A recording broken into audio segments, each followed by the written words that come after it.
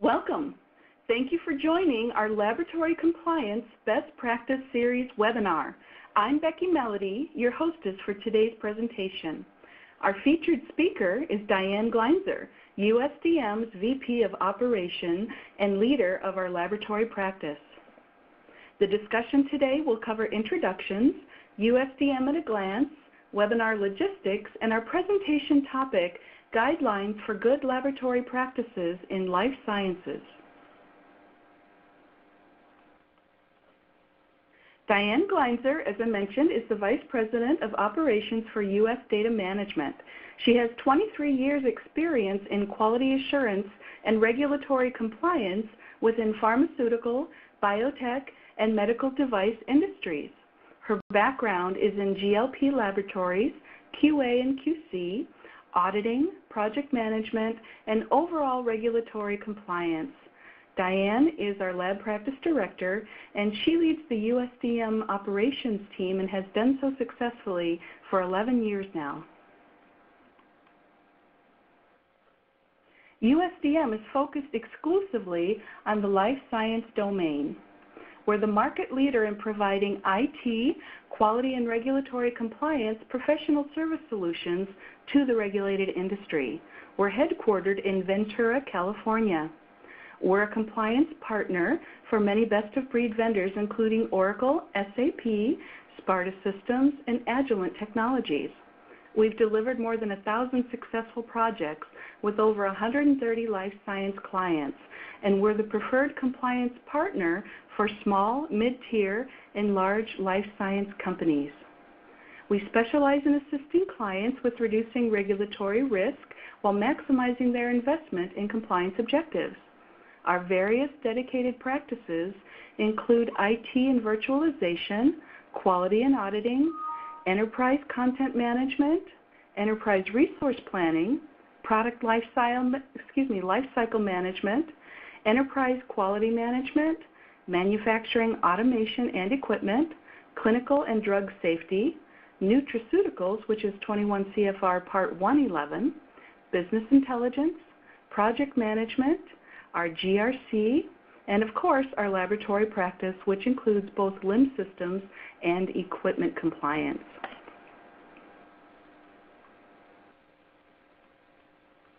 The content of today's presentation will be covered in approximately 30 minutes, and then you can interact with our team via the iLink message board found on the lower left of your screen, or you can join the discussion on LinkedIn and post any questions there. Of course, if your question is confidential, uh, we're happy to address that directly offline. This session is being recorded and will be posted to the U.S. Data Management website. Keep in mind that the overall goal of today's webinar is to facilitate discussion, share ideas, and then explore solutions together. Thank you so much for taking the time to join us. And now we'll turn the presentation over to Diane. Thank you, Becky. So in today's webinar, we're going to be looking at an overview of good laboratory practices as they stand today, the applicability, when are they applicable and when don't you have to comply with GLP, basics and the key requirements for good laboratory practices, and what happens, what, what are the potential um, penalties if you fail to comply with GLPs and you're required to comply. So let's start out with a brief overview and find out what good laboratory practices really are. Good laboratory practices, or GLP, is a quality system that provides a framework within which non-clinical health and environmental safety studies are planned, performed, monitored, recorded, reported, and archived. So basically, it's a quality system for laboratories, again, non-clinical health and safety studies. The GLPs are actually formal regulations, which means that they are a law, series of laws that govern the safety and efficacy of human and veterinary drugs and devices and the safety of food and color additives created by the FDA, U.S. Food and Drug Administration, in 1978. That was the final rule. Um, this is, they're also known as 21 CFR Part 58. They have a worldwide impact. If you work, if you are a non-U.S. company and you wish to do business in the United States, you need to comply with Part 11 if you are required to comply with it. So, in other words, as we said, it's the non-clinical health and safety studies.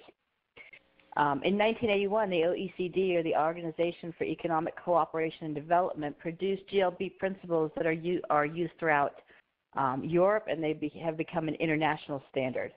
So, in today's webinar, there are other uh, regulations that apply. There are ISO standards that could apply. CLIA could apply, but for today's webinar, we're going to be discussing mainly OECD and the FDA's GLPs. Until the mid 70s, the FDA pretty much assumed, as did the EPA, that reports and data submitted by sponsors were, were largely accurate.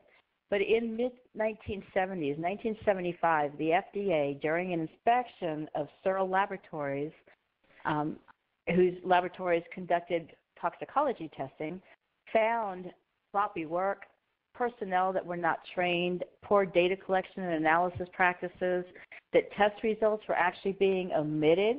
They didn't like them. Um, and there was inadequate review overall of the data and the reports that were generated that the FDA was depending on. At that point in time, the FDA set forth good laboratory practices and distributed them to the industry for voluntary um, compliance. They weren't really a law at that point. They were mainly a guideline for scientists to adhere to um, so that they could improve the quality of their data. Between 75 and 78, additional issues were found, specifically with Biometric Testing Inc. and Industrial Biotest, where it was found during inspections that they actually falsified test procedures and data, that they fraudulently reported their test results, they did not have adequate environmental controls in their facilities, they had very poor animal tracking. Some animals were dead and they were not noted. Um, some animals were missing, escaped from their cages, and it rendered the study data generated as unusable. In 1978, mainly based on these examples, the G- GLP was promoted to law as 21 CFR Part 58. Excuse me, just an overview here. So as you look at this drug development um, timeline, if you will, basic research, disease discovery, drug discovery, those are not regulated functions under the GLP. GLP starts to become um, something that you must adhere to in the preclinical development space in the timeline. Once you actually get to clinical trials in human beings, we're looking at good clinical practices taking over. And once you're actually manufacturing drug, now you're looking at good manufacturing practices. 21 CFR Part 11, which is the regulation that extends the, the predicate rules around ensuring that even your paper-based systems, that the processes you use work the way you intend them to. 21 CFR Part 11 simply extends those regulations to computerized systems. And as you can see, it covers good laboratory practices, good clinical practices, and good manufacturing practices. So, really, as you move forward in the timeline, study based um, stu- or, or study based, discovery based studies.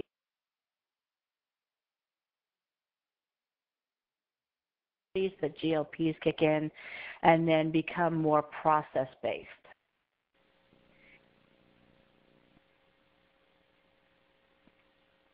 So GLP is is required for certain types of studies. It's required for non-clinical safety studies conducted in drug development, and this covers studies whether they're done in a laboratory, in an animal facility, in a greenhouse, or out in the field. It covers analytical laboratories to the extent that they supply data generated for these studies, these types of studies, or for submission. If with certain products, microbial testing that's done for the purpose of obtaining information on neoplastic and mutagenic activity should be conducted in accordance with the GLPs. It also covers such things as agricultural pesticide development, any development of toxic chemicals, food control, food additives, and testing of substances with regard to explosive hazards, which is my favorite part of it. Um, it's not needed for basic research. So as you're doing your preliminary studies for basic research, basic molecule research, you don't need to follow GLPs. Um, studies that are develop, studies that are intended to develop new analytical methods are not subject to GLPs. Chemical tests used to derive the specifications of a marketed food product um, are not subject to GLPs, and actual clinical studies must comply with GCP and ICH, not GLPs. The objective of GLPs is to ensure that the data that are submitted are a valid reflection of the results that are obtained during a study. To ensure that we can get that data again, so we can trace back to it. We can link the data to the study and to the people that it was obtained from, or the animals, or whoever generated that data. And this helps to promote international acceptance of test data supplied in INDs and NDAs. Again, the intent is to ensure that we're generating and verifying reliably the data that is con- that is produced in a study, ensuring that we that you can uh, have confidence in that reported data. To ensure data integrity, the following elements of GLP really need to be in place, and we'll go through each one of these in a bit more detail. You have to have standard operating procedures that tell you how to do what you're doing. You need statistical procedures for how you evaluate and analyze data. You need to make sure that your equipment is in a state of control. You need training, education, and where possible, certification of the people who actually generate that data. They need to understand and know what they're doing. The facilities that you're using either to conduct a study or to analyze the data need to be sufficient for that intended use. And you need to have adequate tracking of your samples and specimens so that you can have a chain of custody. You understand that you're actually that the data that you're reporting is actually for the sample that you said it was generated for. So looking at each one of these in just a bit more detail, standard operating procedures, we all know what those are, we all hate them, but they are documented procedures that you've verified and you've actually approved to ensure that you conduct specific processes and determinations the same way. If you've ever had, you know, people don't have um, standard operating procedures in a lot of cases. A lot of my clients don't have them. And that's kind of like folklore. You're just passing things down from one generation to another. And if you've ever played the telephone game, you know that once you tell somebody something, they interpret it a little bit differently and they're going to pass it down a little bit differently to the next person. So after a few generations of the telephone game, people are not doing things in the same manner that they were originally designed to be done. So having a formalized test protocol for how you conduct a, your protocol specific activities ensures or helps to ensure that your data generated is reliable and can, can be consistently obtained um, you want to develop your SOPs so that any analytical data that's collected and reported can be tied to that documented process. Again, we want to be able to reproduce the data that we've generated under certain conditions. For statistical procedures, you can't just choose a statistical procedure from a textbook. Many of the procedural details are optional and or arbitrary, and the scientist who develops that procedure, the guy or the, the woman who has the most knowledge in that specific area, can adopt certain standards that are deemed acceptable within their field. We want those procedures to be used over and over again. Again, statistics is one of those fields where you can it's easy to use the same set of statistics to show different um, different points so you want to make sure that you're using the same procedure reliably, consistently, and therefore you want it documented so that other people besides just the scientist doing it can follow it consistently. Um, you might get acceptable statistic procedures also from regulatory agencies. Equipment that's used in the generation of any data or in the measurement or assessment of data, equipment used for facility environmental controls, needs to be designed appropriately and have adequate capacity to function as intended. And you need to document that it does. data produced by instruments that are not in control may very well look as though it was it's good data. But unless that system is under control and has been tested and shown that it's going to work the way you want it to, you can't rely on that data. You need to adequately inspect, you need to clean and need to maintain your, your laboratory instrumentation and equipment under certain procedures on certain periodic uh, periodicities so that you can trust that system to be in calibration. If it's in calibration, you can show over time whether or not it's moving in or out of range. Um, you can show a lot of things. So you want to make sure that you're consistently cleaning and maintaining, calibrating the equipment as required. Talked about instruments being under control. What does that mean? First of all, you want to validate the equipment, excuse me, to show that the instrument itself and any software that you're using work the way they're expected to work. That's really a good business practice.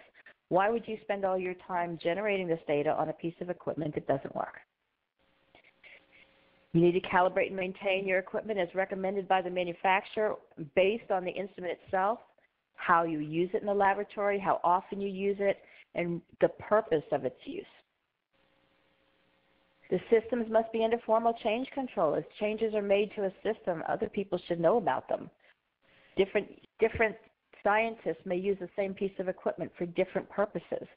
So one scientist needs to know what the other ones are doing with that equipment. Under formal change control means you're not arbitrarily making changes to the system that other people aren't aware of and have input on. Um, and you need to track and trend controls that are generated from the equipment um, maintenance data, calibration data, so that you can actually show over time whether or not your system is developing a problem before the problem actually occurs. Tracking and trending the data generated really allows you to exert certain controls over the system and understand when it may or may not be time to recalibrate, reclean, or have preventive maintenance done. Need written state, uh, operating procedures that detail the methods, materials, and schedules used to inspect, clean, maintain, test, calibrate, and or standardize your equipment. Again, you want remedial action. This is showing a state of control. Those procedures ensure it's important to have these procedures. It's also important to follow those procedures regularly, to train to those procedures, so that you're treating the equipment in a consistent manner, thereby allowing you to rely on the data that's generated. So you're contributing to data integrity when you conduct these processes. Um, you want your procedures to state if a system goes out of calibration, if a system fails for some reason, what is the failure that could happen, and what remedial action will you take? Do you call the vendor right away? Do you bring in a system owner? The, re, the remedial action needs to be specified and maybe even the degree so if it's one thing, you would call the system owner. If it's this, you'd call the vendor. Um, and who's responsible to perform each operation on the system? It's important. It doesn't just need to be a name of a person, but there should be a role within your organization of the, the person who's responsible for making sure the system is under control. Reagents and materials used in testing need to be managed by documented accepted procedures. If you have reagents and materials in your lab, they need to be appropriately labeled with the date prepared and who prepared it, if it's a mixture, um, the expiration date, based on documented stability information or the manufacturer's stability information, what the material is, what concentration is it, what are the storage requirements, how about a lot number, other identification? you can trace back to the documentation where either you prepared this, this solution or you can trace it back to the manufacturer lot number itself. When applicable, for, for containers that you have um, just the chemical containers and you've just opened them and you use them out of the original container, you also need to include the date the reagent was opened.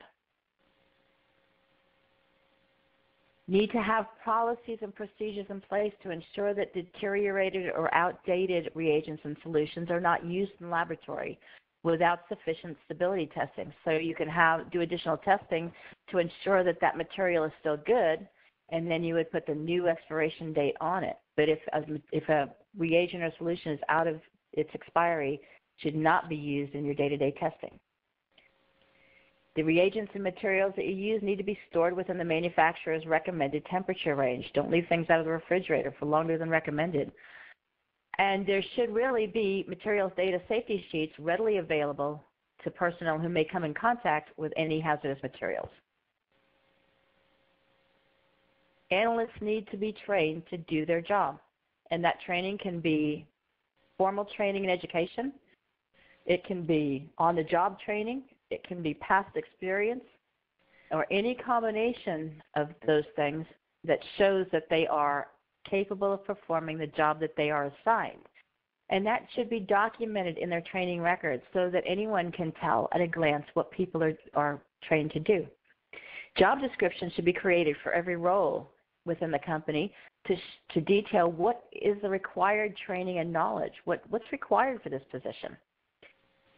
You need to have sufficient personnel to ensure timeline and proper conduct of a study according to your protocol.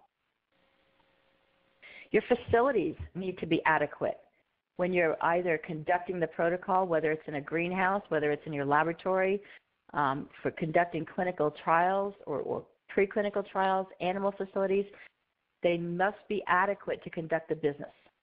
They must be a suitable size and construction um, so that you can conduct your non-clinical lab studies.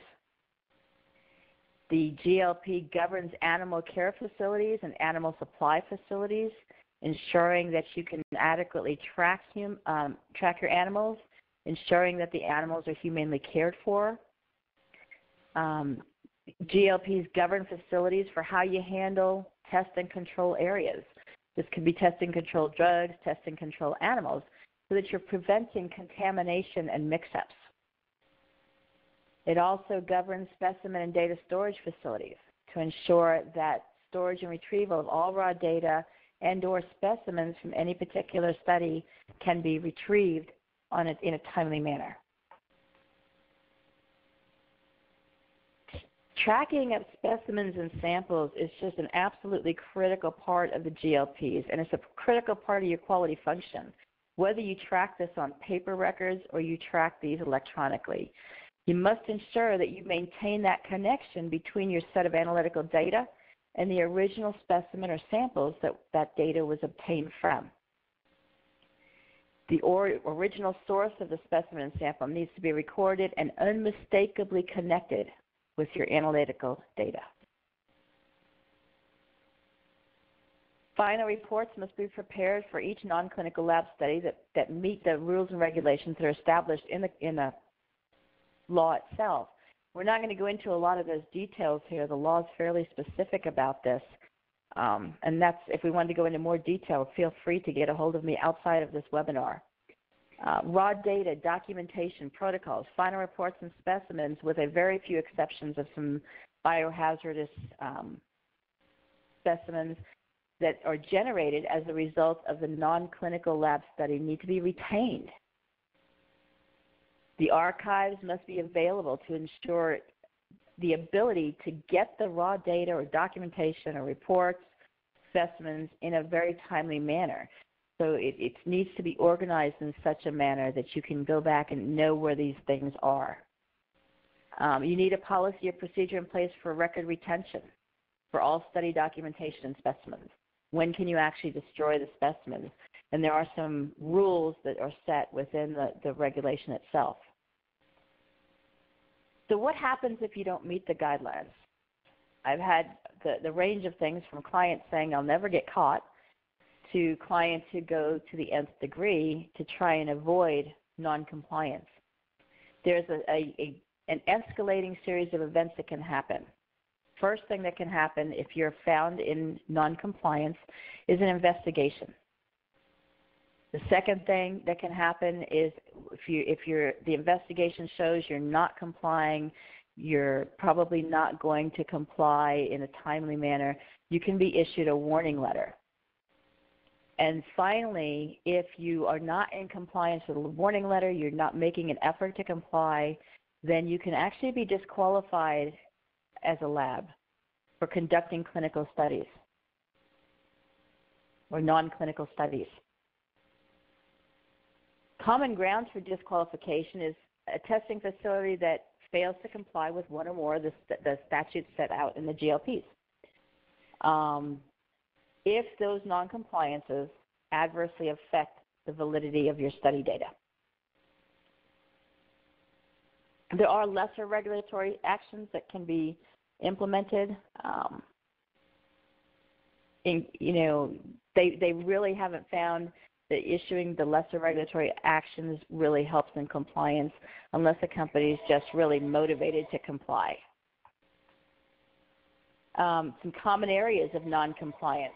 Laboratory equipment, calibrations not documented, no processes or procedure for how you calibrate, or you're not following your procedures, um, not documenting uh, preventive maintenance activities according to your procedures, not having procedures, and lab equipment that's not been validated, qualified, has not had preventative maintenance form or performed um, in, in the appropriate period of time.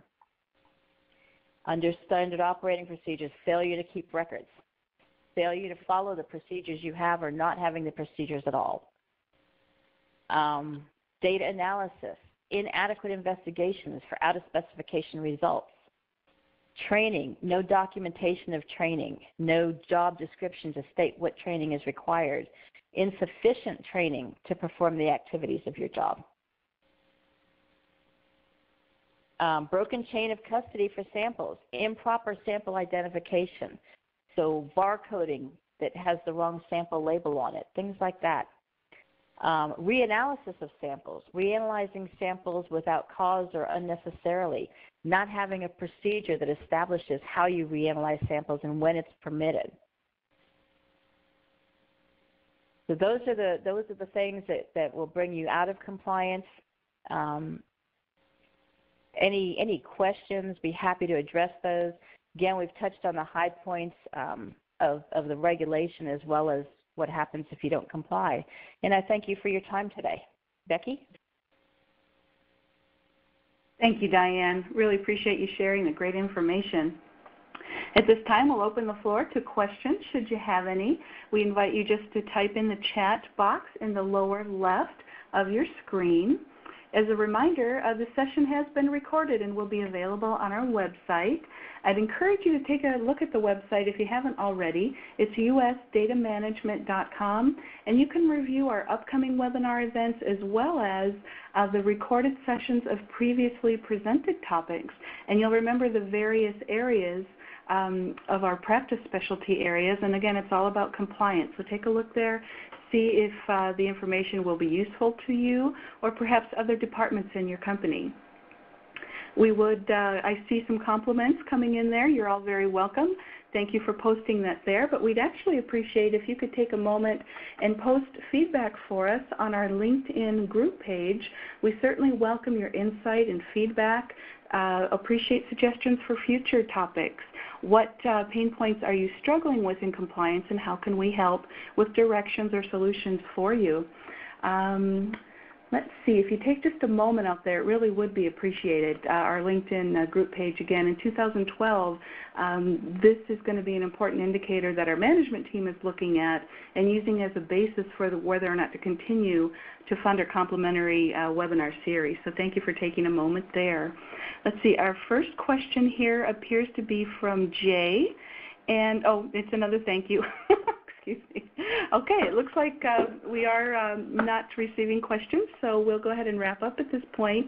Diane, thanks again for presenting. We appreciate you taking the time. And thanks to all of you for joining us today. We know how valuable your time is and certainly uh, appreciate that the information we're sharing is useful for you. We do appreciate the opportunity to team with you all in working towards excellence in compliance. Have a wonderful day.